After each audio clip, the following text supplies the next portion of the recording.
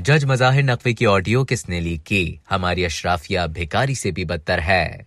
फैसल वावड़ा ने कहा कि तोशा खाना की फहरिस्त से पता लगता है कि हमारी अशराफिया भिकारी से भी बदतर है। मरियम नवाज़, जनरल बाजवा का और इमरान खान फैज हमीद का नाम ले रहे हैं। इमरान खान ने किसका कत्ल कर दिया जो उन्हें गिरफ़्तार किया जाए? जज मजाहिर नकवी की ऑडियो जनरल फैज हमीद ने लीक की। पीडीएम हुकूमत में पहले पंद्रह बीस दिन वज़ीर आज़म हाउस की रिकॉर्डिंग भी जनरल फैज हमीद के लोगों ने की थी। इमरान खान के वकील सलमान अक्रम राजा ने कहा कि कम कीमत पर प्लॉट, तहाइफ और दीगर अशिया लेना हमारी अशराफिया का मामूल है। अशराफिया में सियासतदानों के साथ वकील, जज, जर्नल और सहाफी भी शामिल है। तोशाखाना मामला में कोई गैर कानूनी काम नहीं हुआ, लेकिन यहाँ सवाल अखलाकियात का है। अब तक के लिए इतना ही। मजीद खबरों और न्यूज़ अपडेट्स के लिए दिल्ली जंग के यूट्यूब चैनल को सब्सक्राइब करें और फेसबुक के पेज को लाइक करना ना भूलें।